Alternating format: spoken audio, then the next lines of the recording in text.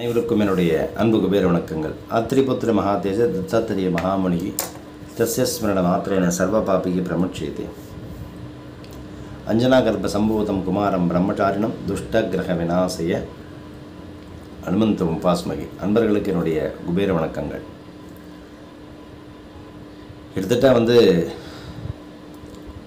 ஒரு ஆயிரம் மெம்பர்ஸுக்கு வந்து நம்ம வந்து கடனை தீர்க்கக்கூடிய பரிகார புத்தகம் பணப்பிரச்சனை நிவர்த்தி செய்வதற்குண்டான சித்த பரிகாரம் ஐநூற்றி எட்டு.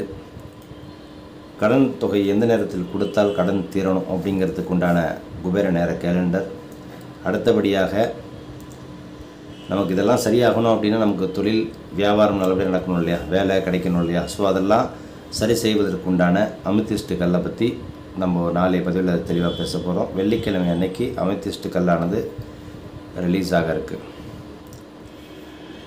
இது எல்லாருக்கு முன்னாடியே ஒரு விஷயத்தை நம்ம டிஸ்கஸ் பண்ணணும். அதாவது சில பேருக்கு வந்து பணம் ஏன் தங்க மாட்டேங்குது? பணம் ஏன் கையில் நிற்க மாட்டேங்குது? எந்த காரணத்தினால பணம் தங்கலை? ஏன் விரயமாகிட்டே இருக்குது அப்படிங்கிற அந்த சூக்ஷமத்தை தெரிஞ்சுக்கிடணும். இந்த சூக்ஷம் தெரிஞ்சுக்கிட்டீங்க அப்படின்னா கண்டிப்பாக உங்களுக்கு அந்த விரயமானது இருக்காது. நிறைய பேருக்கு வந்து பொருளாதாரம் ஓரளவுக்கு நல்லா வளர்ந்துக்கிட்டு இருக்கும். நல்லா ஓரளவுக்கு போய்கிட்டே இருக்கும். பணத்தை வைப்பதற்கு உண்டான இடங்கள் பணத்தை வைத்து பராமரிப்பதற்குண்டான விஷயங்களை நம்ம சரிவர செய்யலை அப்படின்னா எவ்வளோ சம்பாதித்தாலும் அந்த பணம் ஹண்ட்ரட் பர்சன்ட் நிற்காது எல்லா விஷயத்துக்குமே ஒரு மதிப்பு மரியாதை கண்டிப்பாக உண்டு. எப்படி நம்ம மனிதரிடமிருந்து ஒரு மரியாதையும் ஒரு மதிப்பு எதிர்பார்க்குறோமோ அதே மாதிரி நம்ம கையில் பழங்கக்கூடிய ஒரு பொருட்களுக்கும் நம்ம மரியாதை கொடுக்கவில்லை என்றால் அந்த பொருள் நம்மளை மதிக்காது. அதை நீங்கள் நல்லா தெளிவாக புரிஞ்சுக்கிடணும். ஸோ துச்சம் அப்படின்னு நினைக்கக்கூடிய எந்த ஒரு பொருளும் நம்மளை துச்சமாகத்தான் நம்மளை பார்க்கும் அது. அது நம்மளை அப்படி தான் இயக்கும். அதனால் இன்றைக்கி கலியுகத்தை பொறுத்த வரைக்கும் அருளாருக்கு அவ்வுலகம் அவ்வுலகம் இல்லைன்னு சொன்னாங்க. இன்றைக்கி பொருளுள்ளாருக்கு இந்த உலகம் இல்லை அப்படின்னு சொல்லி சொல்லுவோம் இன்றைக்கி பொருளாதாரம் தான் ஒரு மனிதனுடைய வாழ்க்கையில் ஆதிக்கத்தை செலுத்துது. நம்ம எவ்வளோ நல்லவர்களாக இருந்தாலும் வல்லவர்களாக இருந்தாலும் நல்ல ஒரு குடும்பத்தில் பிறந்திருந்தாலும் நம்மளுக்கு நல்ல திறமை இருந்தாலும் இதையெல்லாம் வெளிக்கொண்டு வெளிக்கொண்டு வந்து ஒரு விஷயத்தை செய்யணும் அப்படின்னா நமக்கு வந்து பொருளாதார நிலை கொஞ்சம் நல்லபடியாக இருக்கணும். அப்படி இருந்தால் தான் இப்படிப்பட்ட ஒரு கலியுகத்தில் நம்ம ஜெயிக்க முடியும். இல்லை அப்படின்னா எவ்வளோ திறமைகள் இருந்தாலும் இன்னும் எத்தனையோ பேர் இன்னும் உள்ளே அப்படி தான் இருக்காங்க. பொருளாதார வசதிகள் இல்லாமல் பொருளாதாரனுடைய தன்மை இல்லாமல் நிறையா கஷ்டப்பட்டுன்னு இருக்காங்க. இப்போ உங்கள் கையில் வந்து பொருளாதாரம் நல்லபடியாக இருக்குது அப்படின்னா அது ஃபார் எக்ஸாம்பிள் உங்கள்கிட்ட ஒரு பத்து கோடி இல்லை இருபது கோடி ஐம்பது கோடி இருக்குதுன்னு வச்சுக்கோங்க. அது நீங்கள் மட்டுமே வைத்துக் கொள்ளுங்கள் தவறில்லை. அதனால் அடுத்தவர்களிடம் அதை வந்து ப்ரெசன்ட் பண்ண போனீங்க அப்படின்னா கண்டிப்பாக அந்த பண விரயத்துக்கு திருஷ்டிக்கு நீங்கள் கண்டிப்பாக ஆளாவீங்க. எந்த பூர்வ ஜென்ம பந்தமோ உங்கள்கிட்ட இன்றைக்கி செல்வ செழிப்போடு இருக்கீங்கன்னா கடவுளுக்கு நன்றி சொல்லிவிட்டு அந்த பணத்தை நீங்கள் உள்ளே வச்சுருங்க கண்டிப்பாக ஆடக்கூடாது. ஆடம்பரத்தால் அகம்பாவத்தால் கர்வத்தால் நம்ம ஆட ஆரம்பித்தோம் அப்படின்னா இந்த ஜென்மத்தில் நம்ம ஆடுவோம். ஆனால் அடுத்த ஜென்மம் அப்படிங்கிறத விட நம்ம போக போக போக பிற்கால வாழ்க்கையில் நம்மளுடைய நமக்கு நம்ம பணமே நம்ம பாடத்தை கற்றுக் கொடுத்துரும். ஸோ அதனால் ஆடம்பரம் கர்வம் அப்படிங்கிறது இருக்கக்கூடாது. மிக முக்கியமான விஷயம்.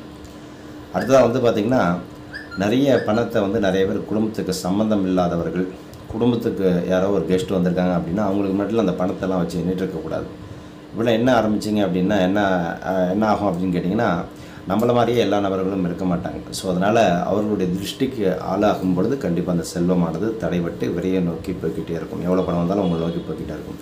அதேமாதிரி கடையில் பத்து பேர் உட்காந்துருக்காங்க அப்படின்னா கடையில் நல்ல நபர்களுக்கு முன்னாடி கடையில் இருக்கக்கூடிய எல்லா வேலை செய்கிறவங்க கஸ்டமர்ஸ் அவங்க முன்னாடிலாம் அந்த பணத்தெல்லாம் நின்று இருக்கக்கூடாது ஸோ அதெல்லாம் நீங்கள் ரொம்ப உஷாராக பார்த்துக்கணும். கண்டிப்பாக பணத்தை எப்போவுமே வீட்டில் வந்து வடக்கு திசை பார்க்குறது வைப்பது தான் ரொம்ப விசேஷம். இது வந்து செல்வத்திற்கு அதிபதியாக இருக்கக்கூடிய குபேர வாசல் இருக்கக்கூடிய வடக்கு திசையாக சொல்லப்படுகின்றது. எனவே வடக்கு திசையை பார்த்து பணத்தை எடுக்கும்படி நீங்கள் வைத்து வைத்திருப்பது நல்ல மாற்றத்தை ஏற்படுத்தி தரும். உங்கள் பீரோவில் பணத்தை வைப்பதற்குன்னு வந்து பார்த்திங்கன்னா தனியாக சில கம்பார்ட்மெண்ட் இருக்குது இல்லையா? அதில் உங்களுடைய மார்புக்கு அதாவது நீங்கள் பார்த்தீங்கன்னா அப்படின்னா எந்த ஒரு பீரோவும் மார்புக்கு நேராக தான் அந்த லாக் அரசு இருக்கும். ஸோ மார்பில் வந்து மகாலட்சுமி வாசம் செய்கின்றார். உங்கள் மார்பு பகுதியை விட குறைவான உயரத்தில் நீங்கள் பணத்தை வைத்தால் அது கண்டிப்பாக தங்காது. அதாவது நம்மளுடைய மார்பு பகுதிக்கு கீழே பணத்தை வச்சுட்டு வந்தோம் அப்படின்னா கண்டிப்பாக பணம் தங்காது. அதெல்லாம் பல பாக்கெட்டில் மேல் பாக்கெட்டில் மட்டும்தான் பணம் வைக்கணும். உங்களுக்கே தெரியாமல் அது வந்து கண்டிப்பாக பணம் விரை விரையமாயிடும் அதனால் பணத்தை வந்து ஃபேண்ட் பாக்கெட்டு கீழே வைக்கிறது பணத்தை வந்து நம்மளுடைய ஃபேண்ட் பாக்கெட் பின்னாடி வைக்கிறது இந்த மாதிரிலாம் தயவு செய்து செய்யாதீர்கள். செய்தீர்கள் என்றால் கண்டிப்பாக விரயமாகிக் கொண்டே இருக்கும். பணம் வைக்கக்கூடிய லாக்கர் அல்லது சிறிய பர்ஸ் எதுவாக இருந்தாலும் உங்களுடைய உயரத்துக்கு இணைவா இணையாக வைங்க. அந்த ஆட்டிடியூட் எண்ணங்கள் வந்து உயரமாக இருக்கணும். அதான் ரொம்ப முக்கியம். உங்களுடைய எண்ணங்கள் உயரமாக இருக்கும் பொழுது பணத்தை நீங்கள் உயரமாக வைத்து பார்ப்பீர்கள். குனிந்து எடுக்கும்படி பணத்தை கண்டிப்பாக வைக்கக்கூடாது. ரொம்ப மிக முக்கியமான விஷயம். சார் அப்போ நீங்கள் சாமி நீங்களாம் எப்படி மெயின்டைன் பண்ணுறீங்க நீங்களே அப்படி வச்சுருக்கீங்கன்னு சொல்லி நிறைய பேர் கேட்டாங்க. நான் சொல்கிறேன் எப்பயுமே நான் பணம் வந்தால் என்ன பண்ணுவேன் அப்படின்னா நான் புத்தகத்தில் தான் நான் வைத்திருப்பேன். ஏன்னா ஒரு கலையின் மூலியமாகத்தான் நம்ம வந்து நிறைய பொருளாதார ஈடுபடுறோம். பொருளாதாரத்தை நம்ம சம்பாதிக்கிறோம். அது எந்த வேலை வேணா இருந்தாலும் சரி அந்த வேலைக்கு அதிபதி யாருன்னு கேட்டிங்கன்னா சரஸ்வதி தான். அப்போ சரஸ்வதியினுடைய கடாட்சம் இருந்தால் தான் அந்த கடாட்சத்தின் மூலியமாக செல்வத்தை நம்ம ஈட்ட முடியும். ஒன்றுமே தெரியாமல் ஒரு பணத்தை போய் சம்பாதிக்க முடியாது. அப்போ நமக்கு சில அறிவுகள் ஞானம் தெரிவு இதெல்லாம் வேணும். ஸோ அதற்கு மகா அதற்கு நமக்கு சரஸ்வதியினுடைய கடாட்சம் தேவை. அப்போது தொழில் போனால் அனுபவம் வேணும். வேலை வேணால் எக்ஸ்பீரியன்ஸ் வேணும். அப்போ அந்த அனுபவத்தையும் எக்ஸ்பீரியன்ஸையும் கொடுக்கறது யார் அப்படின்னா சரஸ்வதி தேவி. படித்தா தான் ஒரு தொழிலை கற்றுக்கிட்டா தான் வளர முடியும். படித்தா தான் நம்ம வந்து இப்போ எக்ஸாமில் பாஸ் பண்ண முடியும். அப்போது அந்த படிப்பின்மைக்கு முதல்ல முக்கியத்துவம் கொடுத்து அதற்கப்புறம் செல்வத்தை முறையாக ஈட்ட வேண்டும். அப்போது அந்த செல்வத்தை கொடுத்த அந்த வித்தையை கற்றுக் கொடுத்த சரஸ்வதி தேவிக்கு அப்போ புத்தகத்தில் சரஸ்வதி தேவி வாசம் செய்கின்றார். அப்போ சம்பாதிச்ச பணத்தை அதில் வைக்கும் பொழுது பணம் இரட்டிப்பாகும். நீங்கள் வேணால் வச்சு பாருங்கள் எவ்வளோ பணம் வைத்தாலும் நீங்கள் பர்ஸில் வைக்கிறது பதிலாக உங்கள் புக்கில் நிறைய பணத்தை சேர்த்துட்டே வாங்க. அப்போ புக்கு புக்கில் பணம் சேர சேர என்ன ஆகும் அப்படின்னா புக்குக்கும் பணத்துக்கும் ஒரு சம்மந்தம் இருக்குது புக்கில் வந்து ஒரு நேர்மறையான புத்தகம் இருக்குது எதிர்மறையான புத்தகமும் இருக்குது நேர்மறையான புத்தகங்களோட இந்த பணத்தை உள்ளே வச்சு அதில் ரெண்டு பச்சைகள் பூரத்தை போட்டு புண்ணுகள்லாம் தடவி வச்சிங்க அப்படின்னா புக்கும் எப்பவுமே வாசம் நிறைந்ததாக இருக்கும். எப்பவுமே அந்த செல்வம் பெருகி கொண்டே இருக்கும். அதாவது திரும்ப திரும்ப அந்த கலை மேலே உங்களுக்கு ஒரு அபரிவிதமான ஈடுபாடு வரும். இதை செய்து பாருங்கள் உங்களுக்கு நல்லபடியாக மாற்றம் கிடைக்கும். பணத்தை வந்து பூஜை அறை மற்றும் படுக்கறையில் வந்து பார்த்திங்கன்னா வடக்கு திசையை பார்த்து நீங்கள் வச்சுக்கலாம் தப்பில்லை. வரவேற்பு அறையில் பார்க்குற மாதிரி கண்டிப்பாக நீங்கள் வந்து பணத்தை வைக்கக்கூடாது. தனதானியங்கள் நிறைந்திருக்கக்கூடிய சமையல் அறையில் இல்லத்தரசிகள் வந்து நிறைய பேர் பணம் வச்சுருப்பீங்க. தானியலட்சுமி இருக்கக்கூடிய இடத்துலையும் மகாலட்சுமி வைப்பது ஒரு நல்ல விசேஷமான ஒரு காரியம்.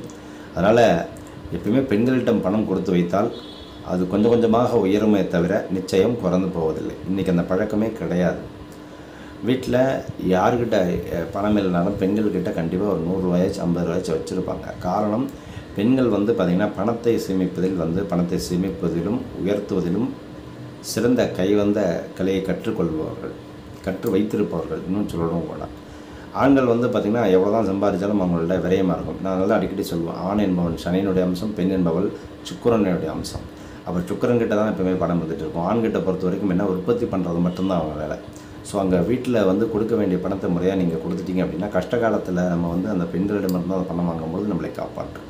ஸோ அதனால் இதை முறையாக செய்து வாருங்கள். நிச்சயமாக நல்ல பலன்கள் கிடைக்கும்.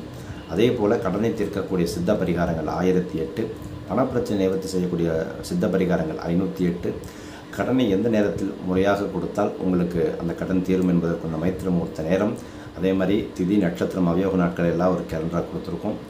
ஏற்கனவே நான் சொன்ன மாதிரி இந்த அத்தனை பிரச்சனைகளும் சரி செய்வதற்கு உண்டான ஒவ்வொரு ராசிக்கும் நட்சத்திரத்துக்கு உண்டான அந்த அமித்தியஸ்ட் கல்லை பற்றி நம்ம அடுத்த பதிவில் பேச போகிறோம் ஸோ வீடியோ பிடிச்சிருந்தால் லைக் பண்ணுங்கள் ஷேர் பண்ணுங்கள் சப்ஸ்கிரைப் பண்ணுங்கள் வாழ்க நலமுடன் நற்பவி நற்பவி நற்பவி. நல்லது நடக்கட்டும். ஓம் ஸ்ரீ குருபியோ நமகா